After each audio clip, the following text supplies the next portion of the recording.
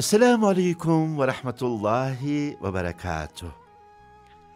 Bir gün Yahudinin biri iki yalancı şahit buldu ve Peygamber Efendimiz'e gelip dedi ki, Ya Muhammed, ashabından şu zat benim devemi çaldı. İşte şahitlerim de burada. Peygamber Efendimiz şahitlere sordu, doğru dediler. Ashab-ı kiramdan olan o zatı çağırtıp buyurdu ki, bak hakkında şikayet var. Ne oldu ya Resulallah? Sen bu gece bir deve çalmışsın. Ben mi? Kimin devesini? İşte bu Yahudinin devesini. Ya Resulallah, o deveyi ben satın aldım. Çalmadım. Peki senin şahidin var mı deveyi satın aldığına dair?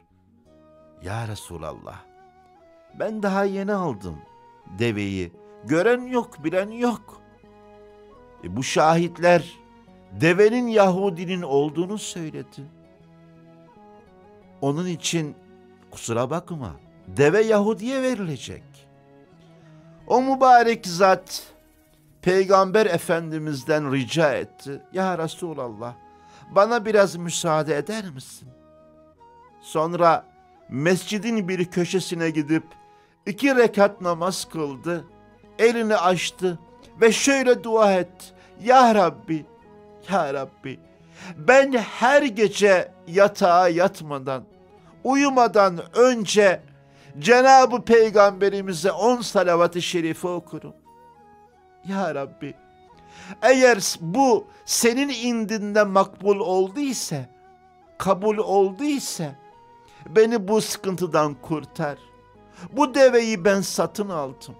Ama şahitler Yahudinin olduğunu söylüyorlar. O kişi geri geldiğinde deve ayağa kalktı ve anlaşılır bir lisan ile dedi ki, Ya Resulallah, bu Yahudi yalan söylüyor. Ben bu zatın devesiyim. Deve konuşunca, deve nasıl konuşur diyen Yahudi ve şahitleri korkup kaçtılar. Onlar gittikten sonra Peygamber Efendimiz sebebini sorduğunda şöyle cevap verdi. Ya Resulallah, benim bir adetim var.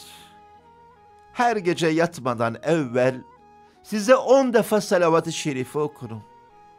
Allahu Teala bu on salavat-ı şerifeyi kabul etti ve deveyi size söyletti.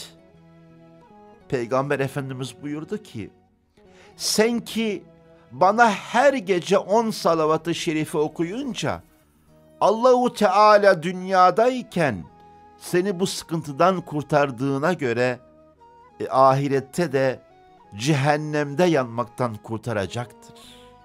Allahu Ekber. Mevlam inşallah hisseler alabilmeyi nasip eylesin. Mevlam inşallah bizi zatına kul, Habibi edibine de ümmet olabilmeyi nasip eylesin. Amin diyelim mi? Amin. Amin. Amin ya Rabbel Alemin.